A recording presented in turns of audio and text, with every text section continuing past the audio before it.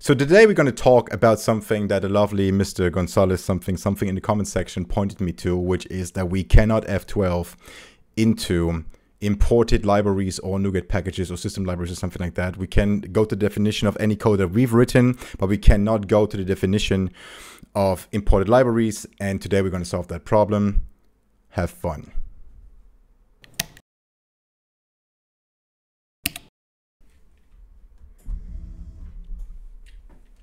Today is going to be a quickie. What we're going to do is we're going to decompile imported assemblies like NuGet packages or system assemblies or something like that. So to demonstrate what we're going to do, we're going to look at this for a second.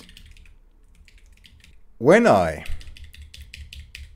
go and jump to the definition of something, I can jump to that definition because it's it's within my own source code, within the code that I've written. When I want to jump to the definition of console write line, which comes from the system namespace, I cannot do that. I get an error that looks like this.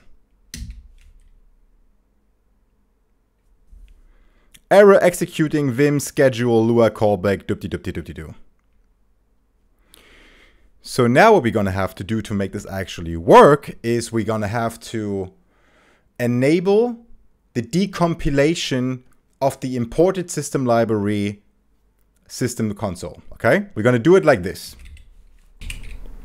We're going to go into our NeoVim configuration. We're going to go into the plugins, plugins init Lua and enable, in my case, it's enabling those three lines. We're going to load a plugin into our NeoVim configuration that enables OmniSharp to decompile the imported assemblies. So this is activated now. The next thing we're going to do is we're going to enable the mappings that come with these extensions. So I'm going to go down to the mappings Lua, and we find here those mappings that say require OmniSharp extended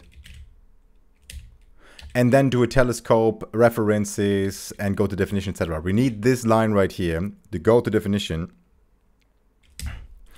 to actually then uh, decompile the imported library. So now these, these two things are activated or in place. I have to, of course, comment out the default bindings. When I now go back to our little C Sharp project and go back into the program CS with the newly freshly loaded NeoVim configuration, and I try to F12, meaning go to the definition of this console write line, then I can actually see the definition. This is what we get, right? So this is the imported imported library. When you see we have a you have a folder that is called like metadata project OmniSharp decompile. OmniSharp decompile. It's a decompilation. What's happening here? So we import the library, which is still binary, and now if we want to look into the code, we need to decompile, and the decompilation within OmniSharp is activated through this configuration. It's really just those three lines. You you add this plugin, and then you activate the mappings, and that's it. Okay. So everything I discussed in that video is also an article, of course, that you find in the description of that video. Hope you enjoyed it. Wish you all a lovely weekend. Lovely weekend. Bye-bye.